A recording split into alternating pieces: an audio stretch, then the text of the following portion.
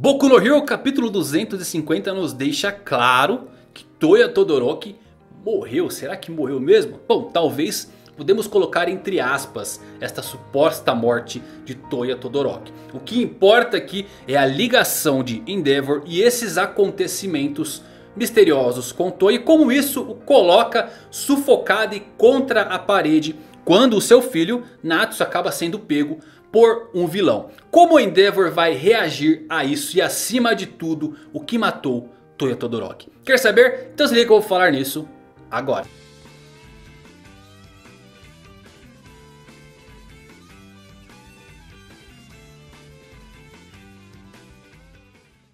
Fala galera, Evandro mais um vídeo pra vocês, como vocês estão? Espero que todos estejam muito bem. Boku no Hero capítulo 250 um capítulo interessante se você não prestou atenção em todos os detalhes dele. Eu vou trazer umas coisas bem legais aqui para vocês. Inclusive vou tentar desvendar como foi essa morte de Toya Todoroki. Vou jogar uma teoria aqui para vocês que vai dar uma bagunçada na mente aí de vocês. Antes de eu começar, aproveita para se inscrever, ativa o sininho para receber notificações de novos vídeos. Escritão Mangalático, deixa o like para dar uma ajuda aí pro meu trabalho. E bora lá falar de Boku no Hero, capítulo 250.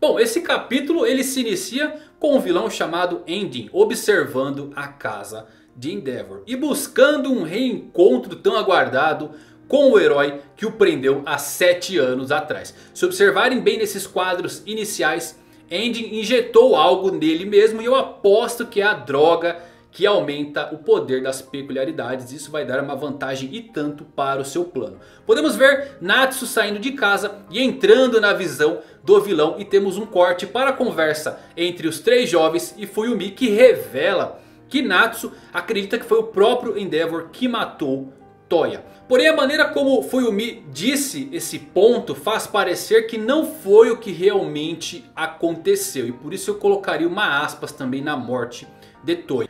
Bom, o fato de Natsu culpar Endeavor pela morte de Toya nos leva a várias linhas de raciocínio. Eu vou colocar duas delas aqui. Pode ser que ele esteja realmente diretamente ligado a essa culpa. Talvez tivéssemos aí, quem sabe, um Toya supostamente morrendo por utilizar os seus poderes durante um treinamento. Ou quem sabe indo atrás de um vilão para provar ao seu pai e a si mesmo que ele poderia controlar o seu poder. Se Toya morreu mesmo depois que Shoto se queimou, ele era mais velho que Fuyumi, significa que Toya provavelmente estava quase indo para a escola de heróis nesse momento em que ele desapareceu. Então é muito possível que ele tenha sido morto em uma luta com um vilão ou tentando quem sabe utilizar a técnica final, o Flash Fire. O Flash Fire faz muito sentido quando ligamos a desfiguração de Dabi. Mas ainda não explica muito sua mudança de caráter se realmente Toya for Dabi. Se formos para a linha de que Toya perdeu a sua vida contra um vilão... Podemos talvez criar algo e teorizar que quem sabe o tal vilão possa ser esse deste capítulo, o Ending. E ele era um ladrão de anos atrás que foi pego e preso por agressão pelo próprio Endeavor. Ele sabe onde vivem os Todoroks. E o Ending no passado provavelmente se esgueirou quem sabe para a residência dos Todoroki e capturou um jovem Toya. Da mesma maneira que ele repete agora com Natsu. Possivelmente, quem sabe Toya com o refém iniciou as suas chamas. O vilão consegue escapar por pouco, mas Toya perdeu totalmente o controle e destruiu a si mesmo. Suas chamas eram tão fortes, talvez demais, para que o próprio Endeavor pudesse fazer algo a respeito. Eu não sei onde estavam os outros irmãos nesse ponto, mas pode ser que quem sabe estavam na casa e o Endeavor teve que salvá-los, mas não conseguiu voltar a tempo para resgatar Toya. E quem sabe quando as chamas se apagaram, presume-se que Toya desapareceu em cinzas queimado. Faz um pouco de sentido até porque o Ending parece ser um vilão que não é tão forte assim. Já que teve que utilizar essa droga neste ponto novamente para conseguir um poder a mais. E se Toya realmente for Dabi e eu aposto as minhas fichas que sim, eles são a mesma pessoa. Pode ser por isso que Dabi matou diversos criminosos enquanto estava recrutando para a Liga dos vilões. Por que eu digo isso? Porque talvez ele ainda tenha um senso heróico perdido lá no fundo do seu subconsciente. Mas algo muito ruim aconteceu e seu lado maligno aflorou e tomou conta dele. Podemos colocar também o fato de que quando Shoto nasceu, o Endeavor começou talvez a se concentrar apenas no garoto e ignorou seus outros três filhos. Então se ligarmos ao ponto de que Toya morreu nesse possível embate, Endeavor talvez havia desistido de treinar Toya o que ocasionou no seu descontrole de poder. E o jovem Toya tentando recuperar a sua atenção depois que seu irmão mais novo nasceu, começou a trabalhar e tentar impressionar um pai que era totalmente indiferente e por fim tudo explodiu. Acho que é uma linha bem interessante do que pode ter acontecido. Mas e vocês, como acham que Toya perdeu a vida? Ele perdeu o controle durante um treinamento ou ele perdeu o controle contra um vilão? Será que foi isso que realmente aconteceu? Deixa sua teoria aqui embaixo pra gente tentar montar alguma coisa. Bom, depois disso temos Endeavor entrando no seu carro com o Midoriya, Shoto e Bakugou. E o Endeavor diz aos três que além dos finais de semana, ele também os fará trabalhar por pelo menos dois dias da semana. Ele quer apressar as coisas. Porém no caminho vemos que Natsu foi atacado pelo vilão que parece estar utilizando bandagens de múmia.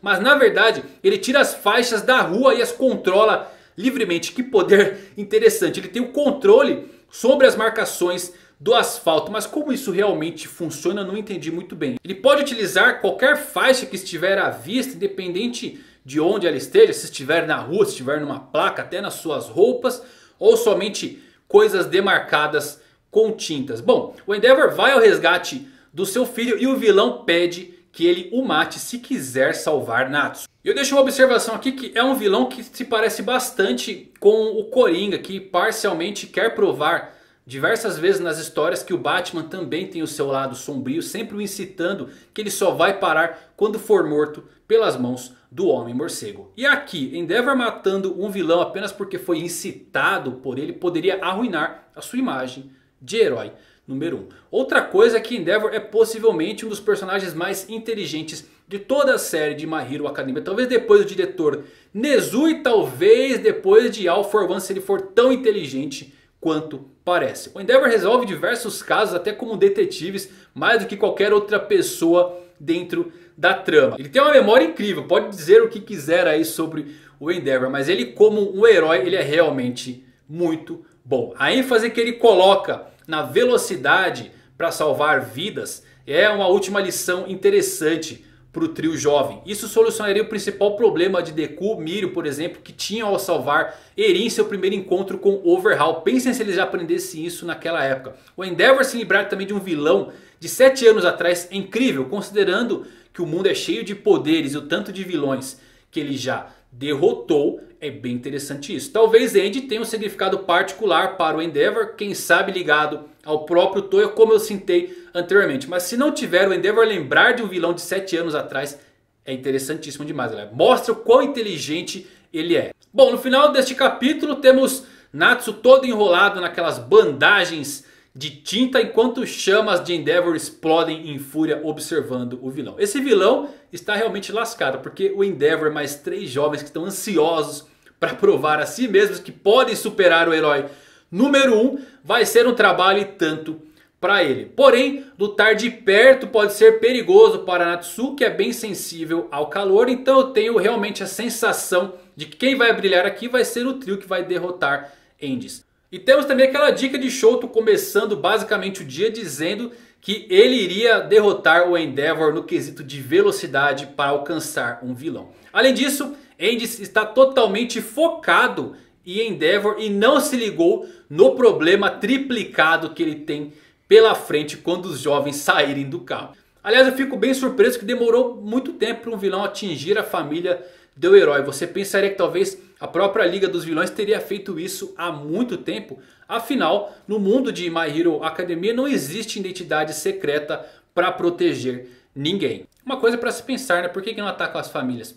Interessante. Bom, é isso galera. Foi um pequeno review, espero que vocês gostem. Se você gostou, deixa nos comentários. Faz o seu pequeno review também e me diz o que, que você acha dessa linha de raciocínio de que Toya morreu, supostamente morreu, de duas formas. Ou em treinamento tentando utilizar o seu poder, ou quem sabe tentando derrotar um vilão. Mas de ambas as formas eu acho que ele estava tentando provar ao seu pai que ele era bom o suficiente. Já que quando Shoto nasceu ele foi basicamente deixado de lado. Uma linha bem interessante, mas eu quero ouvir vocês. É isso, se você curtiu, like, até os próximos vídeos. Valeu por assistirem, fui.